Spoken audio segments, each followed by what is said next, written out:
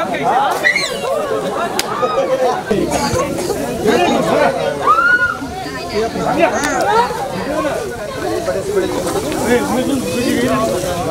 Hello दोस्तों, कैसे हैं आप लोग? एक बार फिर से स्वागत है आपका इस वीडियो में। दोस्तों, मैं मुरली वाले हौसला जौनपुर सिटी से काफ़ी दूरी पर आ चुके हैं। एक बार फिर से दोस्तों, लगभग ये 15 किलोमीटर की दूरी है।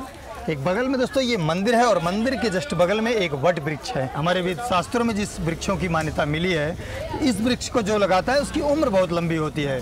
उसी के ऊपर दोस्तों कोई सांप आ चुका है ये आपको करीब से दिखाते हैं वो सांप है कौन सा बस आप नज़र जमा रखिए क्योंकि ऐसे में तो खतरा हो भी सकता है। और नहीं भैया आइए प्लीज़ कम सीढ़ी है सर? सीढ़ी उड़ी है? कुछ? हाँ मंगवा दीजिए। तू है? तो सबसे पहले इस सांप को कौन देखा था? अपना नाम पता बताइए आप। श्याम बहादुर कला। अच्छा कब देखे थे आप इसको? एक एक घंटे पहले। तो दोस्तों ये एक ऐसा सांप है जो कभी कभी ये वृक्षों पे जाता है। इसका इंग्लिश में नाम इंडियन रॉक पैथन है। और गाँव में हमारे इसको अजगर के नाम से या तो चित्ताड़ के नाम से भी जानते हैं। वैसे दोस्तों ये वृक्षों पर रह करके पंछियों के अंडे बच्चे घोंसले को अपना निवाला बनाता है। चलिए हम इसको उतारने का प्रयास करते हैं। यहाँ पर रहेगा दोस्तों थोड़ा सा घनी आबादी है परिवार रहता है खतरा बना है जीवन के साथ में। इसको भी बचाना और लोगों को सेव भी करना है। लेते हैं एक छोटा सा ब्रेक आप बन रही वीडियो के साथ में। थैंक यू इसके पास में लगा दीजिए हाँ। बस बस बस। देखा तो दोस्तों आप ये देख सकते हैं इसे आप काफ़ी करीब से ये जो वृक्ष है, इसका नाम दोस्तों वैसे वट वृक्ष है, जैसे हमारे वेद शास्त्रों में इसकी मान्यता है कि जो भी इस वृक्ष को लगाता है, उसकी उम्र बहुत लंबी होती है, इसी के अनुसार। चलिए धीरे धीरे हम प्रयास करते हैं। यहाँ पर दोस्तों काफ़ी लोग धीरे धीरे इकट्ठा भी हो रहे हैं, ये सीढ़ियाँ आ चुके हैं। दोस्तों, एक बार चलते हैं, उसके करीब में ज़रा से उसे मैं टच करके आता हूँ। नहीं नहीं, सीढ़ी। ये बताइए, डंडा तो नहीं टूटेगा ये इसको जब ज़रूरत है फेंक दीजिएगा हाँ।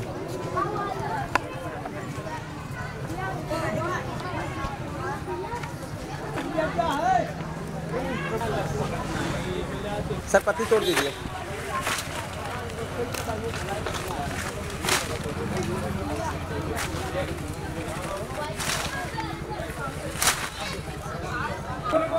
बस बस दिख रहा है ओके, सर। तो दोस्तों, इसको आप देख के समझ सकते हैं, ये हमारे भारत का एक ऐसा जानवर है, जब भी हम इसे टच करते हैं तो इसको देख के ऐसा लगता है जैसे काफ़ी खतरनाक है। चलिए धीरे धीरे हम इसको उतारते हैं।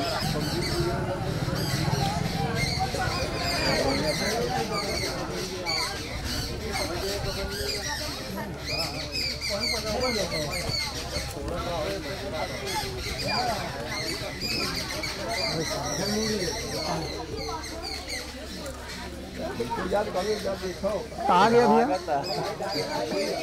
दिख रहा है? ये पत्ती तोड़िए वाली। हाँ हाँ बस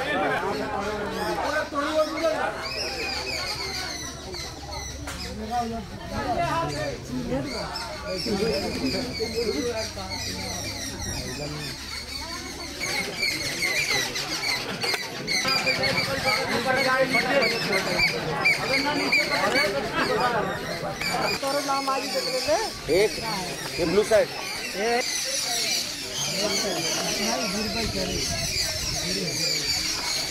हट जाए नीचे सट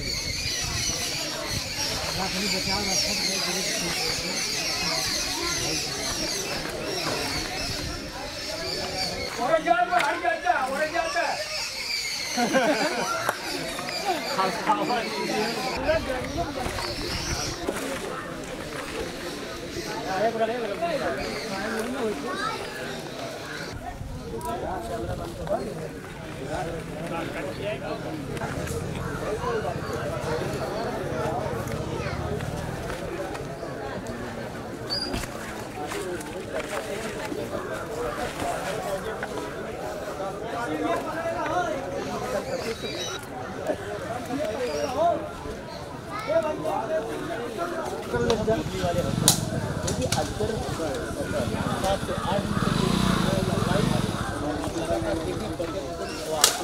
अभी जाके कुछ लग रहा है कि हाथों में आ रही है।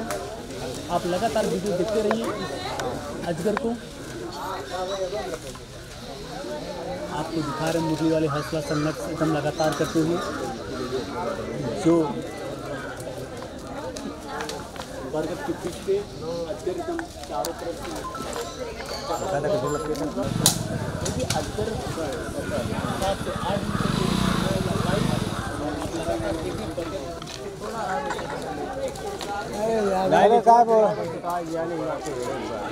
नहीं नहीं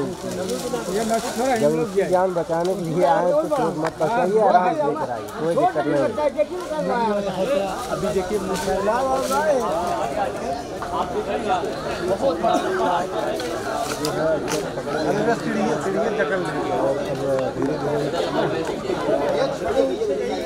हैं, खड़े नीचे आई देखिए मुरली वाले हौसला लगातार अपने परिश्रम करते हुए जो अभी देखिए अजगर को अपने हाथों से उतारे एक घंटे के बाद परिश्रम करने के बाद ये सफलता मिली है उनको। जो बड़ी मेहनत किए लगातार। और आप देख रहे हैं सीढ़ियों पे भी अजगर जकड़ लिया, उतार रहे हैं। लगातार इनकी टीम लगी हुई है। मुरली वाले हौसला जी का, जो हर जगह अपना मेहनत आप देख रहे हैं, बहुत भारी है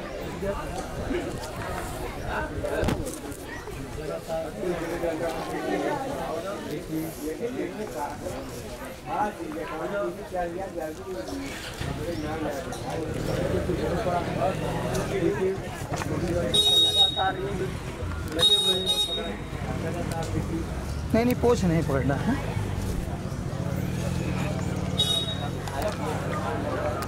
पैरों में प- पकड़ लिया है मुरली वाले हौसला जी को। दोस्तों, आप ये देख सकते हैं, ये इस प्रकार की इसकी पकड़ होती है।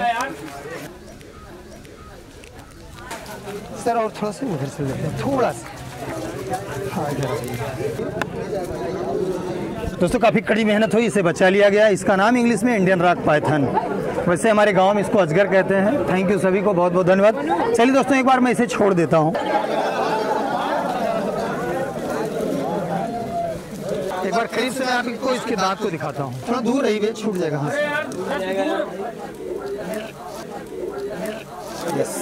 चलिए दोस्तों इसे हम छोड़ आई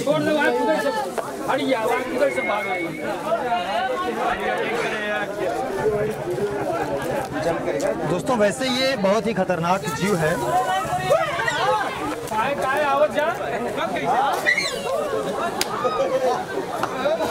चलिए दोस्तों, ये भागता बहुत तेज़ी से है। वैसे एक कहावत है कि अजगर करे चाकरी और पंछी करे काम दास मलुका कह गए सबके दाता। दोस्तों, ये एक ही जगह बैठ करके अपना निवाला बनाता है।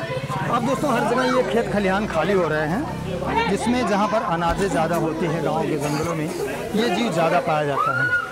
तो ये अपना भोजन, कुत्ता, बिल्ली या जंगल में रहने वाले बड़े से बड़े जीव के छोटे से छोटे बच्चों को अपना निवाला बनाता है। चलिए हम इसे पकड़ते हैं। दोस्तों, ये सामने मंदिर भी है। दोस्तों, इसकी पूरी लंबाई हमारे भारत में लगभग 15 से 18 फीट के आसपास है। 20 फीट भी आखी गई है। और ये दो ही सांप जो होते हैं, पूरी दुनिया में बहुत बड़े होते हैं। एक दोस्तों इंडियन रॉक पाइथन और एक होता है एनाकोंडा तो जो रॉक पाइथन है, वो हमारे इंडिया में कॉमन है, लगभग सभी जगहों पर मिलता है। और जो एनाकोंडा है, वो दोस्तों, अफ्रीका में मिलता है, अमेरिका में भी शायद मिलता है, ब्राज़ील के घने जंगलों में मिलता है, यहाँ तो नहीं मिलता है। ये जब यस का मॉडल बनाता है तो आप यूँ समझ लीजिए, सीधा ये फाइट करने के फिराक में रहता है। इसके दांत बहुत बड़े होते हैं, ये जहरीला बिल्कुल नहीं होता है। थोड़ा देखने में आक्रामक होता है, काफ़ी भारी भरकम का होता है, लगभग कुंडल के आसपास भी इसकी वेट होते हैं। और दोस्तों, गाँव में जैसे ये छोटे छोटे बच्चे रहते हैं, इनको भी ये शिकार अपना बना सकता है जब सुन सुनसान पाता है तब। चलिए अब हम इसे पैक कर देते हैं।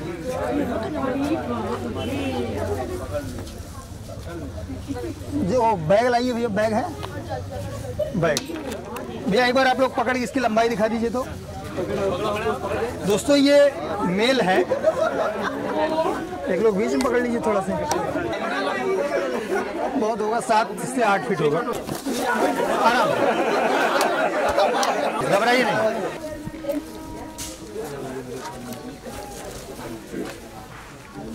तो दोस्तों, इसको यहाँ से लेके चलेंगे कहीं दूर जंगल में, जहाँ पर घर परिवार ना हो, वहीं पर इसको रिलीज़ कर देंगे। इसको तो दोस्तों हम पैक कर लिए। फिर मिलते हैं किसी वीडियो में, लोगों को जागरूक करते हुए, लोगों को बचाते हुए, जीवों को बचाते हुए, और तब तक के लिए आप सभी को जय हिंद।